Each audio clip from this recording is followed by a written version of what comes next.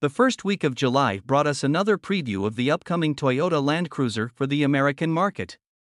For those of you who haven't heard the news already, the Japanese firm will resurrect the legendary off roader in the United States with a new generation that is most likely going to be introduced as a 2025 model.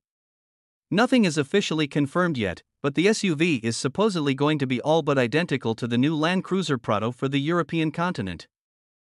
The latest teaser images with the new Land Cruiser Prado, or just the new Land Cruiser in the US, but different from the global market Land Cruiser that debuted in 2021, previewed a large boxy SUV with short overhangs and retro touches.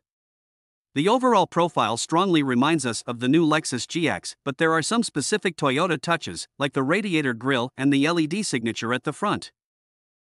The new LC also lacks the stylish roof spoiler of its more stylish sibling with a Lexus badge, but this isn't necessarily a bad design solution. If you like what you see, we have more good news. Toyota is expected to move the Land Cruiser slightly downmarket, leaving more room for the Lexus GX in the lineup. While there are no pricing details for the 2025 LC, we believe it will be more affordable than the outgoing model, which was discontinued after the 2021 model year. As a reminder, the 2021 Land Cruiser retailed for well over $85,000.